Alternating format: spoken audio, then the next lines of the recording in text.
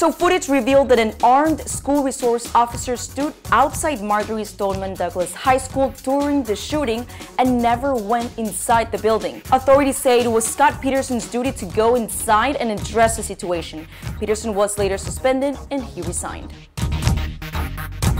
Also, Florida state legislature rejected a motion to debate a bill to ban assault rifles. This was not even the bill. It was a motion to see if they would debate the bill. No. The students from the school traveled to the state capital of Tallahassee to lobby the lawmakers.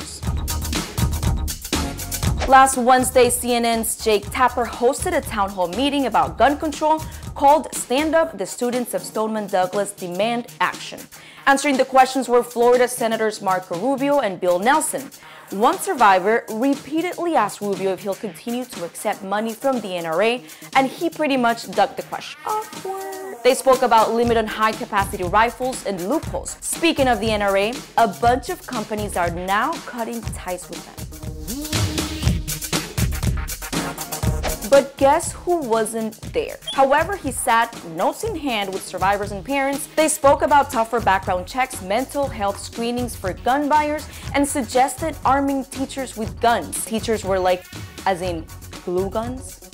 Arm me with books. Arm me with a better library, pencils. Although you can stab with a pencil. Of course, conspiracy theorists are having a blast with this, but out of respect for all the victims of this tragedy, I will not add fuel to the fire. Bye bye, Felicia.